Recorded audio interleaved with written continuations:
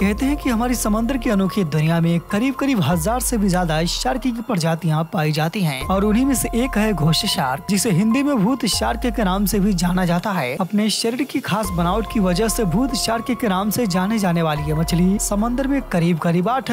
सौ फीट की गहराई में रहना बेहद ही पसंद करती है आमतौर पर इनकी आँखें काफी बड़ी बड़ी होती है जो की यकीन ये जीव दिखने में बेहद ही डरावने लगते हैं वैज्ञानिकों का मानना है की मछलियाँ समुद्र के तल पे अपने अंडों को देती है जो की ये शार्क बेहद ही कम दिखाई देती है वही जानकारी के लिए बता दें की ये शार्क खास तौर पर न्यूजीलैंड में ही पाए जाते हैं इस मछली की बेहद इंटरेस्टिंग बात यह है की इनके चेहरे पे काफी संवेदनशील अंग मौजूद होते हैं जिससे इन्हें पानी के इन्वायरमेंट को समझने में मदद मिलता है तो मेरे प्यारे दोस्तों आप लोगों को ये जानकारी कैसी लगी प्लीज कॉमेंट बॉक्स में जरूर बताए और वीडियो को लाइक शेयर करना बिल्कुल न भूलें